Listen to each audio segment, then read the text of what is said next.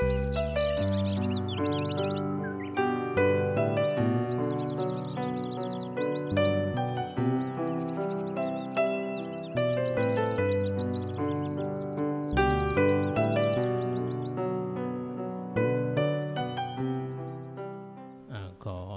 ริญสุขกยานโยมวันนี้ก็เป็นวันสงกรานต์แล้วก็ ทำบุญครบรอบโยมอ่านน้ำฝนแล้วก็ทำบุญ ช่วงสงกรานต์นี่ความหมาย ของวันสงกรานต์ที่เราถือเป็นประเพณี ที่อาบน้ำแล้วก็เอาอัฐิ กระดูกพ่อแม่ หรือบางคนก็เขียนชื่อ นี่เป็นประเพณีนี่ประเพณีนี่ความหมายของคนโบราณเนี่ย ในช่วงสงกรานต์ถือว่าดวงอาทิตย์เนี่ยโคจร โคจรใน ในช่วงเดือนเมษาเนี่ยอากาศจะร้อนมาก เมื่ออากาศร้อนเนี่ยคนโบราณเขาจะหยุด เมื่อหยุดก็ถือว่าเป็น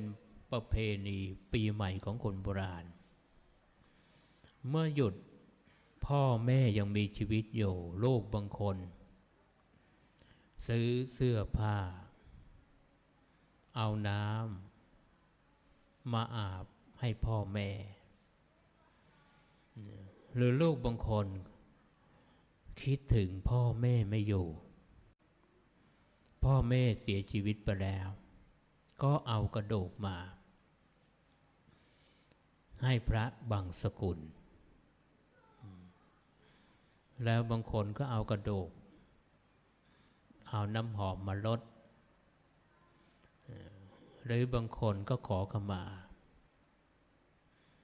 ที่ข้าพเจ้าได้ร่วงเกินด้วยกายกรรมวจีกรรมและมโนกรรม ต่อคุณพ่อแม่ ที่ข้าพเจ้าได้ทรงประมาท ในช่วงตอนยังเด็กยังเล็กนี่ยบางครั้งลูกบางคนเนี่ยหยิกแม่บาง ตีพ่อบ้าง หรือลูกบางคนยังกัดนมแม่เนี่ยสิ่งที่เราทำไปโดยไม่รู้ตัวนี่มันเป็นกรรม เมื่อมันเป็นกรรมแล้วกรรมตัวนี้มันก็จะติดอยู่ในใจ แต่เราก็ไม่มีเจตนาเด็กบางคน ไม่มีเจตนาแต่มันเป็นกรรม หรือเราโต พ่อแม่เตือนนพ่อแม่เตือนลูกบางคนก็โกรธพ่อแม่เนี่ยเถียงพ่อเถียงแม่ ว่าพ่อว่าแม่ นี่ก็เป็นวจีกรรม นั้นประเพณีของ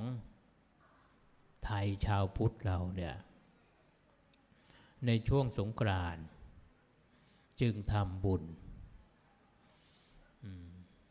ทำบุญเพื่อนึกถึงคุณ ถึงพ่อแม่ไม่ได้อยู่จากไป เราก็นึกถึงบุญ นี่ลักษณะบุญเนี่ยเป็นนามธรรม เช่นข้าวสุกขนมสดเป็นรูปธรรมนะนี่จิตเราที่มีเจตนาตั้งใจ จะเป็นวัตถุสิ่งของอะไรก็ตาม อาศัยจิตเราเกาะวัตถุ เราไปซื้อวัตถุมาแล้วก็ดีใจ เราได้ไปทำบุญเนี่ยนี่ความรู้สึก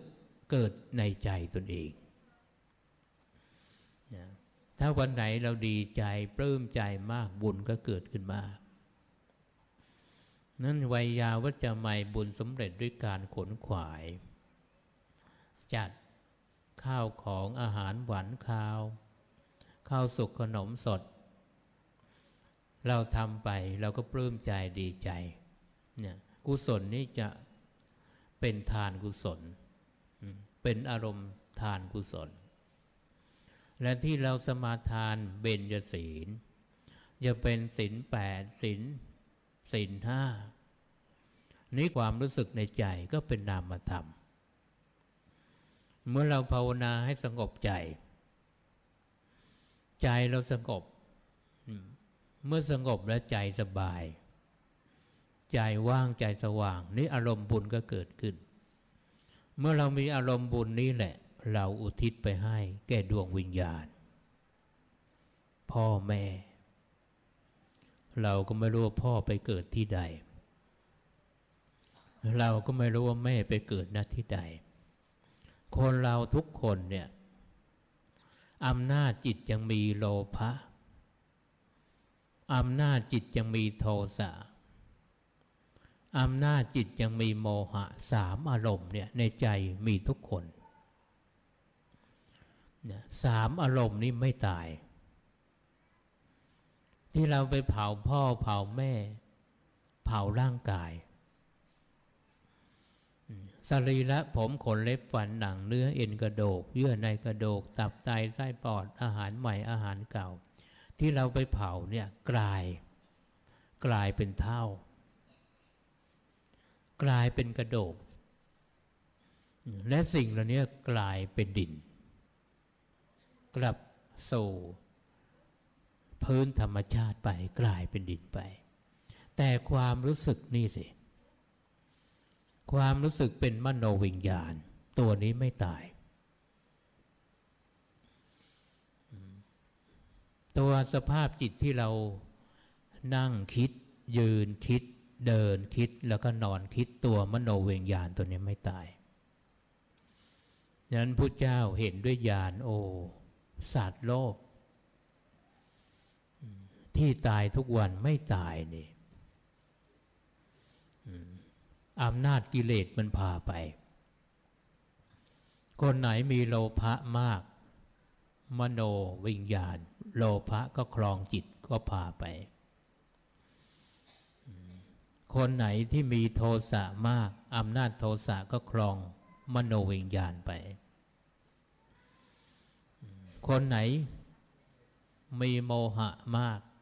คำว่าโมหะคืออารมณ์ใจ ใจตนเองที่หลงโลภหลงเสียงหลงกลิ่น หลงรสหลงโพธพะธรรมรมเราสังเกตดู สัตว์ที่เกิดมาในโลกหลงอยู่ห้าอารมณ์เนี่ยหลงโลภแล้วก็หลงเสียงหลงกลิ่น หลงรสหลงโพธพะกระแสจิตที่หลงเนี่ยเป็นตัวโมหะนี่ตัวโมหะนี่ถ้าครองมโนวิญญาณก็พาวิญญาณไป แต่กองเห็นรูปนี่เผา แต่นามธรรมตัวนี้ไม่ตาย กิเลสตัวนี้ไม่ตาย ก็พาวิญญาณไปเกิดใหม่นี่ความรู้สึกตัวเนี้ที่พระเจ้าจึงให้มนุษย์หรือสัตว์โลกสร้างบุญไว้เนี่ยสร้างบุญเอาไว้นึกถึงทานเป็นอารมณ์ นึกถึงศีลเป็นอารมณ์ นึกถึงภาวนาเป็นอารมณ์คนนั้นมีญาณมียานเหมือนยานพาหนะเช่นเรามาวัดป่าเนี่ย เรามียานพาหนะมีรถ เราเอาใส่รถมาแล้วก็จอด เราเสร็จธุระเราก็ขึ้นรถกลับ นี่เปรียบเทียบยาน คนเราหมดลมก็เหมือนกัน ช่วงตอนเราหมดลม เรานึกถึงทานเป็นอารมณ์ นึกถึงศีลเป็นอารมณ์ นึกถึงภาวนาเป็นอารมณ์ คนนั้นมีญาณไปแล้ว มโนวิญญาณไปสู่ภพภูมิที่ดีนี้ถ้าเรานึกถึงฐานเป็นอารมณ์ฐานปรากฏ เราเข้าสู่เทวโลกแหละเรานึกถึงศีลเป็นอารมณ์ เราเข้าสู่เทวโลกแหละ เราฝึกหัดทำสมาธิทำใจให้สงบทำฌานให้เกิด เราเข้าสู่พรหมโลก สมบัติ ถ้าเราหมดอาสวะกิเลสเนี่ยทำอาสวะให้หมดไปเนี่ยเราเข้าโลกุตละโลก เราเข้าโลกุตละธรรม เป็นแดนอมตะที่คำสอนของพุทธศาสนา ที่เราปรารถนาว่านิพพานนังปรมังสุขขัง นิพพานเป็นสุขอย่างยิ่ง นี่เป็นคำสอนที่พระเจ้าสอนสัตว์โลกเอาไว้นั้นเราเป็นชาวพุทธเนี่ยเราต้องเข้าใจความหมายของวันสงกรานเนี่ย ถ้าพ่อแม่ยังมีชีวิตอยู่เราเอาพนุ่งผ้าห่ม เอาอาหารหวานข่าว เนี่ย เอาอาหารหวานข่าว ตอบแทนคุณพ่อแม่ มีผ้านุ่งผ้าห่มแล้วก็เอาน้ำไปอาบ พ่อแม่แล้วขอขมา ที่โลกได้ล่วงเกินด้วยกายกรรมวจีกรรม หรือมโนกรรม ต่อคุณพ่อแม่ข้าพเจ้า ขอขมา ต่อคุณพ่อแม่เนี่ยถ้าพ่อแม่ยังมีชีวิตอยู่นี้ถ้าพ่อแม่ไม่มีชีวิต เราก็อุทิศบุญกุศลไปนี่มโนวิญญาณเนี่ย คนที่ยังไม่เกิดวิญญาณยังล่องลอย ไปเสวยวิบากกรรม เนี่ยประเภทเนี้ยต้องอาศัยญาติเนี่ยอาศัยญาติ ญาติอุทิศบุญกุศลและมาโมตนา ก็ทำให้พอนโมทนาก็อาศัยบุญจากญาติ หรือพ่อแม่บางคนนึกถึงทานนึกถึงศีลนึกถึงภาวนาเป็นอารมณ์ที่เขาขนขวาย สร้างเอาไว้เนี่ยเขาก็ต้องลอยเกิดและเป็นโอปาติกะลอยเกิดไป ไปเสวยบุญเนี่ยเป็นเทวดา และบุญที่อุทิศไปให้เนี่ยได้แก่ใคร ได้แก่ตนเองนะได้แก่ตนเองนะเพราะพ่อแม่ก็ไปเสวยบุญแล้วอันนี้ถ้าพ่อแม่ไม่ขนขวายสร้างบุญละ่ะ ทานไม่มีศีลก็ไม่มีภาวนาก็ไม่มีเวลาหมดลมปุ๊บอำนาจโลภะครองใจเลย วิญญาณไปเกิดเป็นเปรตเลยเนี่ยนี่ถ้าบางคนก่อนจะหมดลมอำนาจโทสะนึกไม่พอใจลูกบ้างหลานบ้างไม่สนใจเราป่วย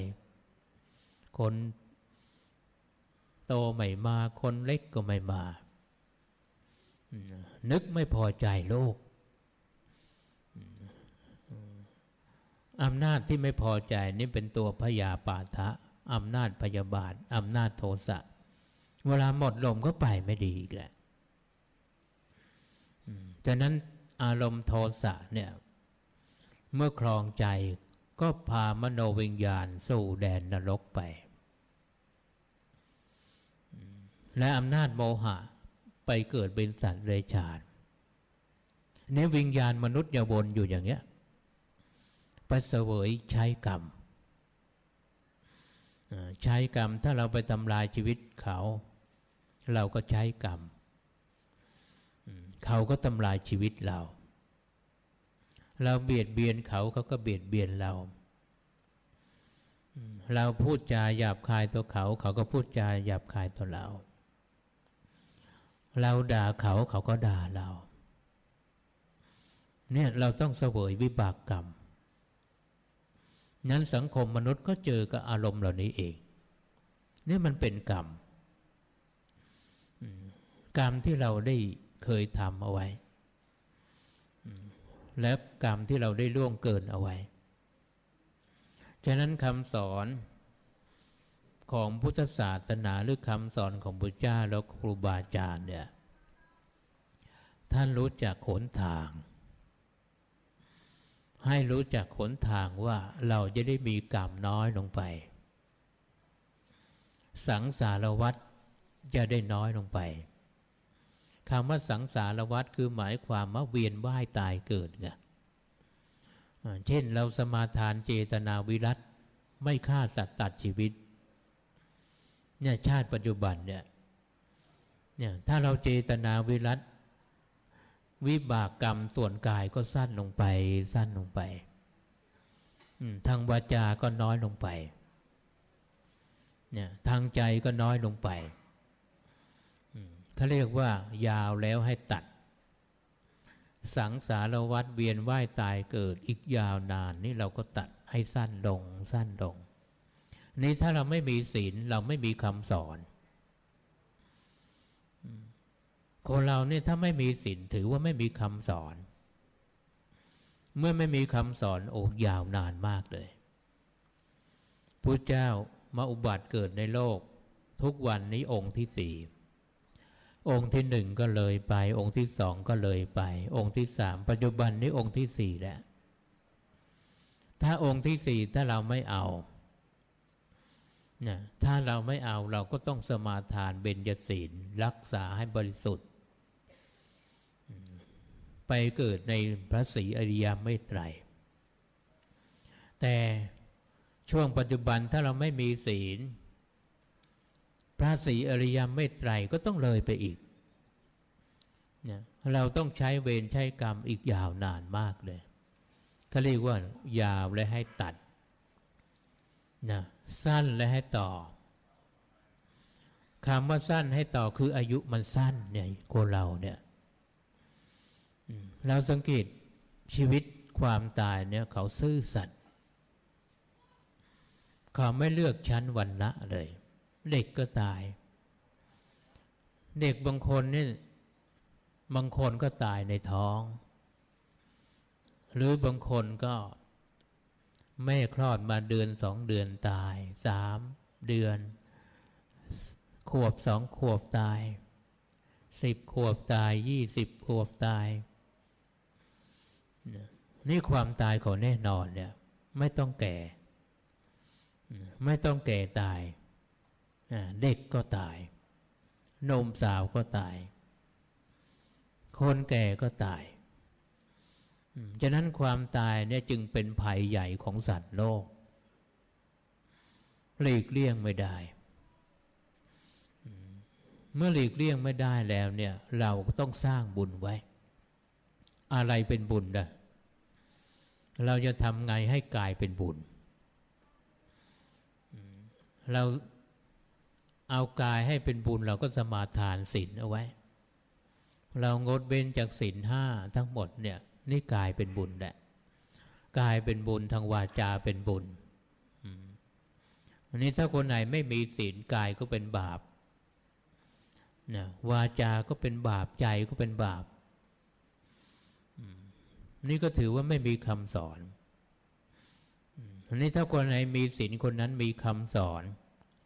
เนี่ยก็ถือว่าเอากายสร้างบุญ เรายังมีชีวิตอยู่ยังเป็นเด็กเป็นน้อยเนี่ยช่วยพ่อแม่ขนขวาย ปัดกวาดเช็ดถูทำความสะอาด ตั้งอกตั้งใจเล่าเรียน ไม่ดื้อพ่อดื้อแม่ ตั้งใจเล่าเรียนเนี่ยพ่อแม่ก็ชื่นใจแหละ ชื่นใจ เออโลก เรามีโลกว่านอนสอนง่ายเขาเรียกว่าเป็นอภิชาติบุตร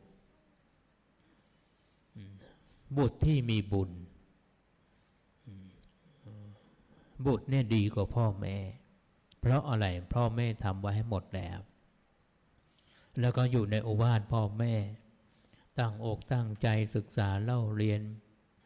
ไม่เป็นคนว่ายากสอนยากเนี่ยเป็นอภิชาติบุตร ในบุตรบางคนเนี่ยเลวกว่าพ่อแม่ ไม่เชื่อฟังพ่อแม่ เชื่อใคร เชื่อกิเลสตนเองอนุสัยไงอานุแปลว่าตาม ใส่ที่นอนเนื่องในจิตใจ มาเกิดแล้วกิเลสตามมา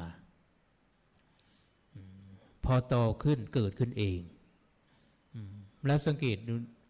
ใจคุณเราทุกคนเนี่ยหนึ่งง่วงก็ไม่ต้องสอนสองขี้เกียจก็ไม่ต้องสอนสามดื้อเกเรไม่มีใครสอนละกิเลสตัวนี้มันปรุงแต่ง และตนเองก็เชื่อ พอเชื่อก็เอาแหละมาเถียงพ่อเถียงแม่เป็นกรรมต่อไป นั้นอนุสัยตัวนี้มันเป็นอนุสัยนอนเรื่องในใจ สัตว์โลก แต่สัตว์โลกไม่มีปัญญา ก็เลยไปสร้างกรรมเมื่อสร้างกรรมเรา เราก็ไม่มีวิชาความรู้ ไม่ได้ศึกษาเล่าเรียน เราก็ลำบาก ฉะนั้นมนุษย์เนี่ย เราเกิดมามีคำสอนของพระเจ้า มีคำสอนของครูบาอาจารย์เนี่ย ถือว่าเป็นโชคลาภอันประเสริฐ เนี่ยเรามาเจอคำสอนของพระเจ้าเนี่ย ที่เขากล่าวเอาไว้ว่า กิจโฉมนุษสปฏิลาโภการถือกำเนิดเกิดมาเป็นมนุษย์เป็นโชคลาภอันประเสริฐ ถ้าเราไม่รักษาความเป็นมนุษย์ยากมากเลย มนุษย์เนี่ยแปลว่าเป็นผู้มีจิตใจสงอบอ้อมอารี เอื้อเนื้อเผื่อแผ่ซึ่งกันและกัน เราต้องอาศัยความเมตตาธรรมตัวนี้ให้เกิดขึ้นอันนี้คนเราไม่ค่อยเชื่อความเมตตาธรรม เชื่ออารมณ์ฝ่ายกิเลส เวลาเกิดขึ้นมาก็เชื่อ เกิดขึ้นมาก็เชื่อ ก็เลยเราต้องไม่มีเพื่อนไม่มีหมู่ ไม่มีคณะ แม้แต่ญาติพี่น้องก็ไม่หลงลอยกัน เพราะเชื่อฝ่ายกิเลสเนี่ยนี่มันเป็นอนุสัยตัวหนึ่ง ที่มนุษย์เราเราต้องศึกษาให้เข้าใจ ถ้าเราศึกษาให้เข้าใจแล้วเนี่ย เราเกิดมาเป็นมนุษย์นี่ก็ไม่บุญอยู่แล้ว เราต้องรักษาบุญเอาไว้เนี่ยในช่วงสงกรานเนี่ยพ่อแม่ยังมีชีวิตอยู่ เราก็เอาเสื้อผ้า เอาน้ำไปอาบ ขอกำมักขมาหรือพ่อแม่เสียชีวิตไป แล้วก็ทำบุญอุทิศไปให้ อันนี้เป็นหน้าที่ของโลกเขาเรียกว่าญาติปรี แปลว่าสงเคราะห์ญาติ เราก็ไม่รู้ว่าวิญญาณพ่อแม่ อยู่ณสถานที่ใด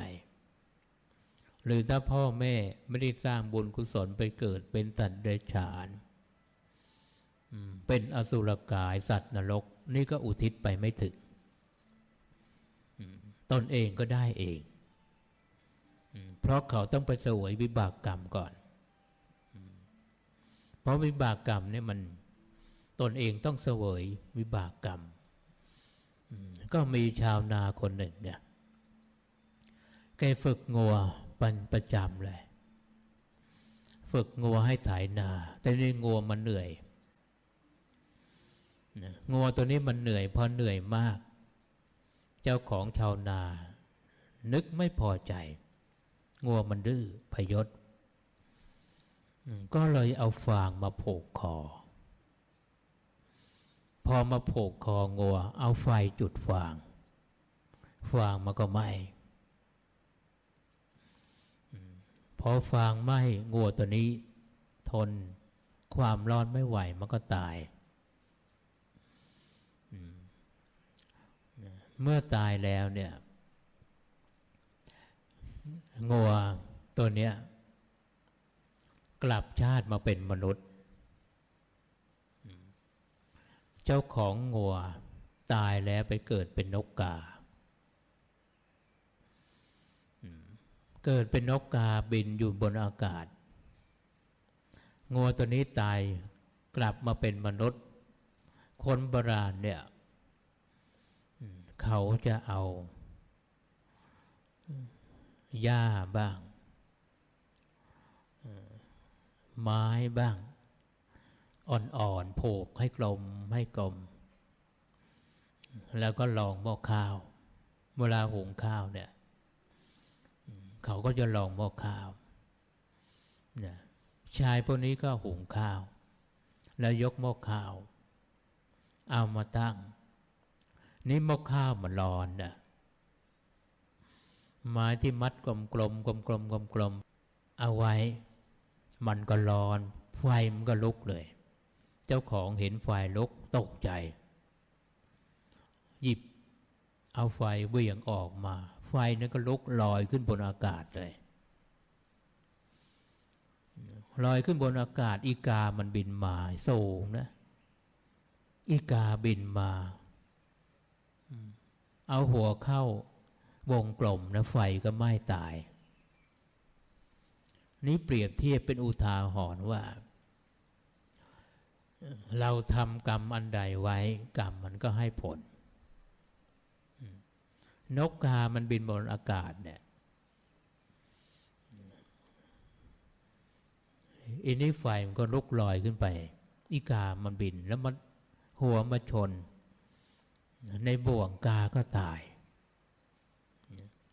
นี่วิบากกรรม ฉะนั้นกรรมเนี่ย เราจะเห็นว่าเพียงเล็กน้อย แต่มันมีผล ในมนุษย์เราก็เหมือนกัน ชีวิตครอบครัวเนี่ยมันอดเถียงก็ไม่ได้หนักนิดเบาหน่อยนี่เราต้องข่มใจตนเองคารวะธรรมต้องอดทนมากเครื่องกระทบในระหว่างสามี ในระหว่างภรรยา พระคนใกล้ตัว ในระหว่างลูกเนี่ยเครื่องกระทบอยู่ตลอดเลยนี่ใจก็หงุดหงิดใจก็ปุงซ่าน อารมณ์เราก็ฉุนเฉียว อารมณ์นี่จะเกิดตลอดเลยอันนี้ถ้าเราศึกษาธรรมะ เราก็ต้องอดทนข่มใจ ไม่แสดงนี่ถือว่าเอาธรรมะคำสอนของพระเจ้ามาใช้เขาเรียกว่าธรรมของคารวะหนึ่งอดทนสองข่มใจ นี่เอาธรรมะคำสอนของพระเจ้ามาใช้ พอเราข่มใจแล้วก็อดทน เดี๋ยวอารมณ์ก็เบา เดี๋ยวอารมณ์ก็จางไป ไม่เกิดตลอดหรอกนี่ถ้าเราไม่หาอุบายแก้ เราไม่หาอุบายขูดเกลาอารมณ์นี้มันไม่ดับ นี่เราจะพามโนวิญญาณไปไม่ดีงั้นคำสอนพระเจ้าจึงให้ทำจิตให้ข่าวรอบ กระแสอารมณ์บาปนั้นมันคลองใจอยู่บ่อย ๆ อย่างเนี้ย เราต้องแก้ไว้ ถ้าเราไม่แก้มโนวิญญาณไปไม่ดี ถึงช่วงสงกรานก็จริง แต่จิตเราไปไม่ดีแล้วถึงลูกหลานจะมาทำบุญ แต่วิญญาณ เขาไปเสวยทุกข์แล้ว ฉะนั้นในฐานะที่เราเป็นชาวพุทธเราจะได้เข้าใจพุทธศาสนา คำสอนของพุทธเจ้าเนี่ยสอนไว้ในตัวเราไม่สอนไว้ที่อื่น ก็เรียกว่าโอปนายิโกน้อมจิตเข้ามาใส่ตัว เช่นวันนี้กายไม่ผิด วันนี้วาจาไม่ผิด วันนี้ใจไม่ผิด วันนั้นเลิกดีมงคลดีสว่างดีรุ่งดีขณะดี ดวงดีทุกวันเลย แต่นี่บางคนไปทำผิดแต่ไปดูดวงให้ไปดูดวงต่อดวง มันก็ไม่ดี ก็มันผิดอยู่แล้วงั้นคำสอนของพระเจ้าเนี่ยให้พิจารณาตนเองนะถ้าวันไหนเราไม่ผิดทางกาย ไม่ผิดทางวาจา ไม่ผิดทางใจ วันนั้นดวงดีทุกวันเลย เลิกดีมงคลดี บุญเกิดทุกวัน นี่บุญก็มากขึ้นมากขึ้น เราก็จะได้ภูมิใจโอ้เรามีคำสอนของพระเจ้านั้นเราญาติโยมจะได้เข้าใจวันสงกรานต์มีความหมาย เราต้องพิจารณา ไม่งั้นเราก็แค่ทำเป็นประเพณีเท่านั้นเอง ไม่รู้ความหมาย เอาน้ำมาลดอัฐิกระดูกพ่อแม่ก็ไปลดอย่างนั้นเอง ก็ไม่รู้ความหมาย งั้นญาติโยมจะได้เข้าใจ ในที่สุดนี้ขออำนาจคุณปสีคุณบรัตนาไตรคือคุณพระพุทธเจ้า คุณพระธรรมเจ้า คุณพระสงฆ์เจ้า ที่ญาติโยมตั้งอกตั้งใจทำบุญสงกรานต์ถวายผ้าอาบน้ถวายข้าวสุกขนมสดถวายผ้าบางสกุล วัตถุอาหารทั้งหมด วัตถุสิ่งของทั้งหมด ตั้งอกตั้งใจสมาทานเบญจศีล อัตถศีล ตั้งอกตั้งใจฟังธรรมะเป็นอารมณ์บุญกุศลนี้นิญาติโยมปรารถนาสิ่งหนึ่งสิ่งใดก็ตามที่ตนเองตั้งใจเอาไว้ขอสำเร็จทุกท่านทุกคนเธอ